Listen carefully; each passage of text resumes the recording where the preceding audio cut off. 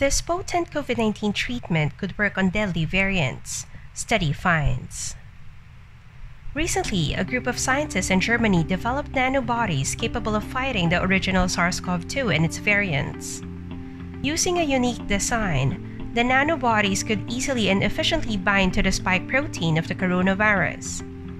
Nanobodies are tiny antibodies found in specific animals, like alpacas, camels, llamas, and sharks. They have been used in research to treat numerous diseases. For Göttingen scientists, their latest achievement could unlock newer antibody therapies against COVID 19. Published in the EMBO journal, the team tweaked many aspects of an earlier nanobody design. It was already found with 1,000 times better binding potential compared to previous antibodies. With the nanobody triad design, the binding potential was further improved.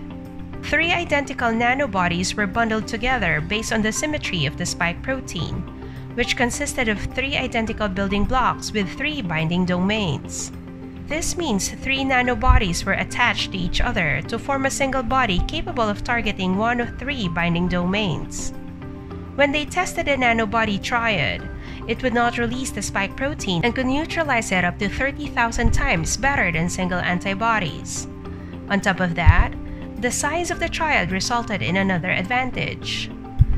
The nanobody would last longer in the body and continue delivering therapeutic effects due to delayed renal excretion.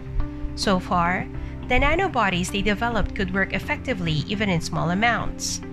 Scientists also tested the nanobody triad against existing COVID 19 variants.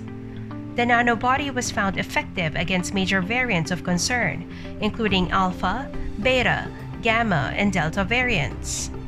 This was determined after they vaccinated some alpacas, which is a part of the original strain.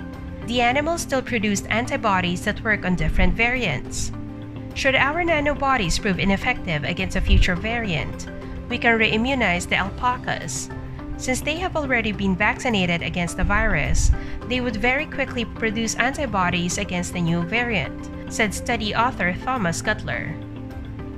According to SciTech Daily, the team is preparing its nanobodies for therapeutic use. They first want to test safety before testing it for severe COVID 19. Once it is proven safe, Therapeutic studies will include those who are not vaccinated and those who cannot develop effective immune responses against the coronavirus. Manufacturing wise, the nanobodies were confirmed to withstand temperatures of up to 95 degrees Celsius. This makes them promising in regions without refrigeration or ultra cold storage.